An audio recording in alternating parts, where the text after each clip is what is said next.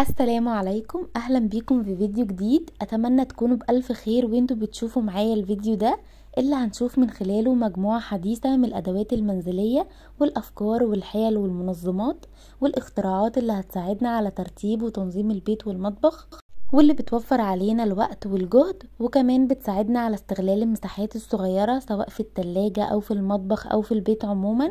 وطبعا في نهاية الفيديو ده كالعادة هقولك على الطرق اللي تقدري من خلالها تجيبي كل الأدوات اللي انتي محتاجاها. ولو لسه مشتركتيش في قناتي أتمنى إنك تدعميني وتعملي اشتراك للقناة وياريت كمان تفعلي جرس الإشعارات للكل عشان يوصلك إشعار بكل فيديو جديد ويومي بينزل على القناة إن شاء الله.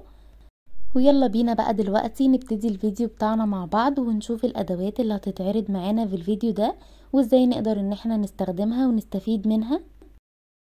هنا معانا الشبكة دي وطبعا الشبكة دي بتكون متحركة وتقدري إن أنتي تستخدميها عندك على الشبابيك في البيت أو تقدري إن أنتي تستخدميها في العربية وهي بتيجي متوفرة بكذا حجم وبكذا مقاس. تقدري إن أنتي تختاري الحجم المناسب للشبابيك الموجودة عندك. بعد كده تعالي نشوف مع بعض عندنا مجفف للخضار أو الفاكهة. طبعا طريقة استخدامه سهلة جدا وبتساعدك إن أنتي تجففي مختلف أنواع الخضار أو الفاكهة. يعني مثلا لو أنت عندك ملوخية أو خس أو أي نوع من أنواع الخضار أو الفاكهة تقدري إن أنت تجففيه بكل سهولة. بعد كده هنشوف مع بعض عندنا صندوق لتنظيم التوابل. والصندوق ده طبعا بيجي متقسم لأربع خانات بالشكل ده. تقدري إن أنت تنظمي فيه الملح أو الفلفل أو مختلف أنواع التوابل اللي بتستخدميها. والصندوق ده طبعا بيكون مقاوم للرطوبة وبيحفظ لك أي حاجة أو أي توابل أنت بتستخدميها فيه. وهنا هنشوف مع بعض عندنا السلكة اللي بيجي متوفر فيها جزء مخصص تقدري ان انتي تضيفيله سائل التنظيف وبعد كده تقدري من خلالها تنضفي كل المواعين اللي بتبقى موجودة عندك بكل سهولة من غير ما تجرحي ايديكي. وهنا هنشوف عندنا منظم للزيوت والتوابل تقدري ان انتي تثبتيه على جدار المطبخ عندك بكل سهولة.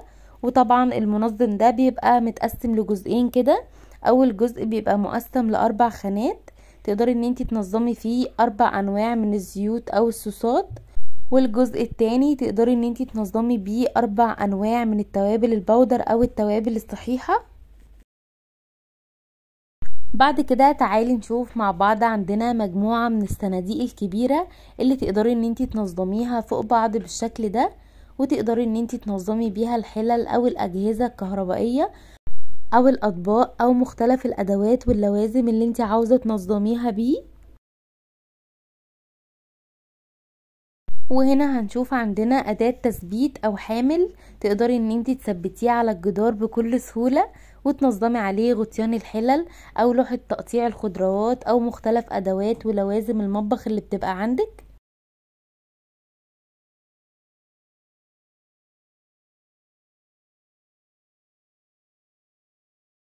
بعد كده هنشوف مع بعض عندنا منظم للبيض المنظم ده عبارة عن ثلاث رفوف كل رف بياخد معاكي تقريبا عشر بيضات. يعني المنظم ده على بعضه كده بيشيل معاكي 30 بيضة. تقدري إن انتي تنظميه جوه التلاجة أو بره التلاجة. وهنا هنشوف مع بعض عندنا السلة الصغيرة دي. طبعا تقدري إن انتي تعتبريها سلة مكتبية. يعني تقدري إن انتي تستخدميها عندك في المكتب أو على الكومودينو في أوضة النوم. أو تستخدميها على السفرة وقت الأكل وترمي فيها أي حاجة انت عاوزاها. وهنا هنشوف مع بعض عندنا الحامل اللي تقدري إن انت تثبتيه على أي سطح مكتب وتثبتي عليه الكمبيوتر أو الكتاب اللي حابة تقري منه. مجموعة هايلة جدا ومتميزة من الأدوات المنزلية الحديثة اللي بتساعدنا في شغل البيت واللي مفيش أي ست بيت تقدر إن هي تستغنى عنها وتقدري إن انت تحصلي على كل الأدوات دي بكل سهولة. وبكذا طريقة معتمدة هيتم شرحها في نهاية الفيديو ده.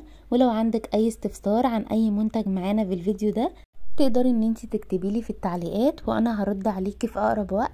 ولو انتي أول مرة بتشوفي قناتي وبتتابعي فيديوهاتي أتمنى إنك تدعميني وده عن طريق الضغط على زر الاشتراك. ولو عاوزة يوصلك إشعار بكل فيديو جديد بينزل على القناة فعلي جرس الإشعارات للكل عشان يوصلك إشعار بكل فيديو جديد ويومي بينزل على القناة إن شاء الله. ويلا بينا بقى نكمل الفيديو بتاعنا مع بعض ونشوف ونتعرف على باقي الأدوات والمنتجات اللي معانا في الفيديو ده. هنا هنشوف عندنا أداة تقطيع تقدري تستخدميها لتقطيع مختلف أنواع الخضار لمكعبات صغيرة كده بالشكل ده وتحضري من خلالها سلطة الخضار بكل سهولة.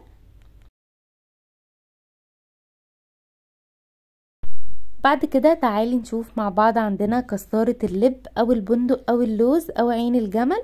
تقدري تقشري من خلالها مختلف أنواع المكسرات وهي طبعا زي ما انت شايفة كده سهلة جدا في الاستخدام. وغير كده كمان هي بتبقى سريعة جدا وبتديكي أفضل النتائج اللي انت بتبقي محتاجاها. زي ما انت شايفة كده معايا من خلال الفيديو طريقة استخدامها بتكون سهلة وعملية قوي.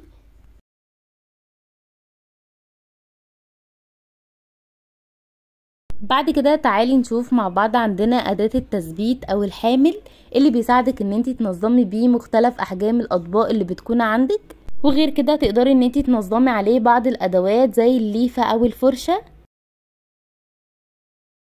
هنا بقى هنشوف عندنا ال power bank ده حجمه بيبقى صغير كده وطبعا هو بيغنيكي إن أنتي تشيلي معاكي أي شواحن في الشنطة. وهنا معانا الفرشة اللي بتساعدنا إننا ننظف مختلف الكوبايات الكبيرة أو البرطمانات اللي بتكون طويلة اللي بيبقى صعب علينا تنظيفها. دلوقتي هنشوف مع بعض عندنا منظم لأدوات ولوازم التنظيف. تقدري إن أنتي تثبتيه عندك على حنفية حوض المطبخ وتنظمي عليه مختلف أدوات ولوازم تنظيف المواعين زي الليفة وسلكة المواعين وغير كده بيبقى فيه حامل تقدري إن أنتي تنظمي عليه فوط المواعين. بعد كده هنشوف مع بعض عندنا منظم لتخزين وتنظيم البيض. بيجي عبارة عن رفين وبياخد معاكي تقريبا حوالي 15 بيضة. تقدري إن انتي تنظميه جوه التلاجة أو برا التلاجة. وأهم حاجة في المنظم ده إنه حجمه بيكون صغير يعني مش بياخد مساحة عندك خالص جوه التلاجة. بعد كده معانا رف تثبيت أو أداة تثبيت تقدري إن انتي تثبتيها عندك على دولاب المطبخ وتنظمي عليها أدوات ولوازم المطبخ اللي بتكون عندك.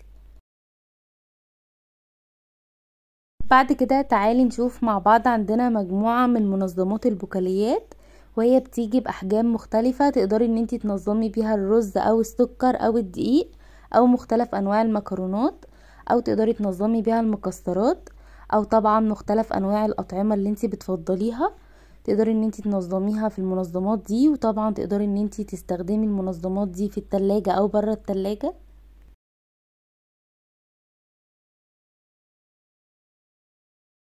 بعد كده تعالي نشوف مع بعض عندنا القطاعة اللي تقدري إن انت تثبتيها على الرخامة وتقطعي عليها كل الخضار أو كل اللحوم أو السلطة أو أي حاجة انت عاوزاها.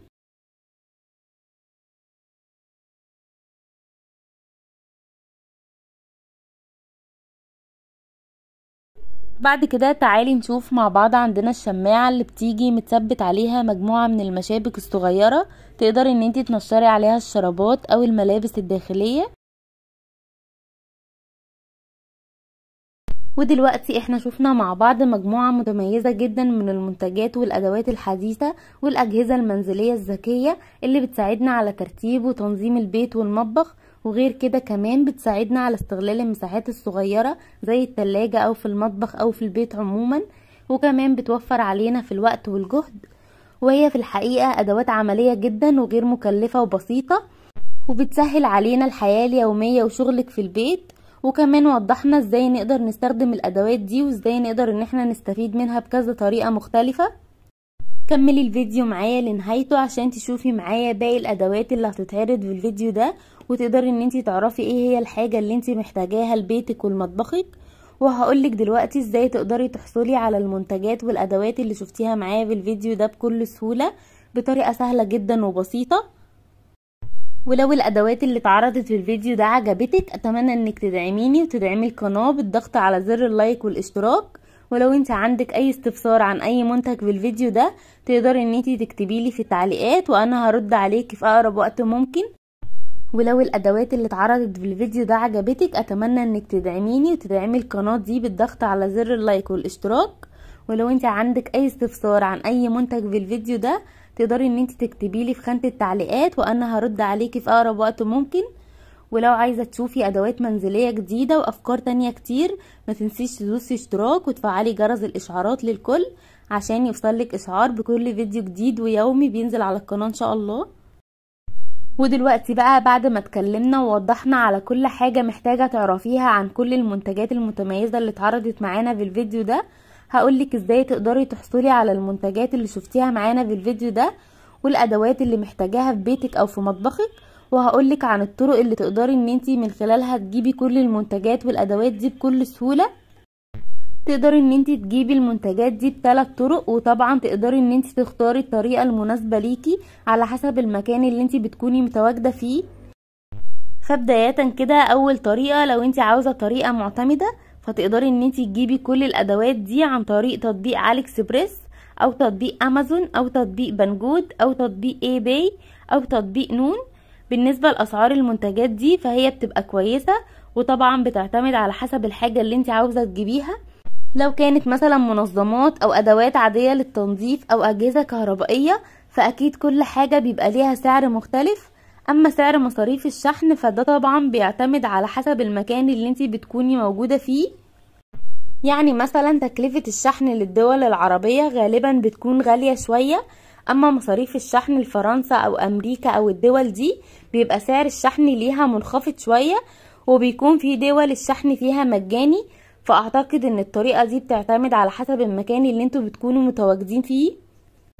بعد كده عندنا الطريقة التانية اللي ممكن تسهل عليكم أو تحللكم مشكلة تكاليف الشحن وهي بتكون الأونلاين على صفحات الفيسبوك أو الإنستجرام. وطبعا الصفحات دي بتبقى عبارة عن تجار بيجيبوا كميات كبيرة من المنتجات دي وبيبيعوها عن طريق الأونلاين على ال social media وبتقدري تطلبي منهم المنتجات والأدوات اللي انت عاوزاها وبتوصلك لحد باب البيت بمصاريف الشحن على حسب المحافظات. وطبعا مصاريف الشحن بتاعتهم بتبقى منخفضة وحلوة جدا مش زي مصاريف شحن التطبيقات اللي قلتلكوا عليها. وعاوزة أقولك إن طريقة البحث على الصفحات دي بتكون سهلة جدا. بتكتبي في خانة البحث في الفيسبوك أو الإنستجرام عن الأدوات المنزلية وبتقدري توصلي لها بكل سهولة. أما بالنسبة للطريقة التالتة فهي المحلات الموجودة عادي في الأسواق الكبيرة أو في المولات اللي بتبيع المنتجات والأدوات دي.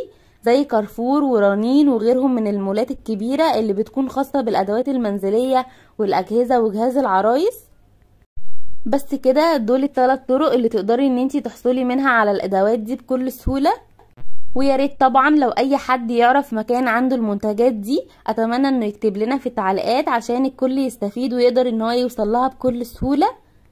وبس كده ده كان فيديو النهاردة. أتمنى إن الفيديو ده يكون عجبكم.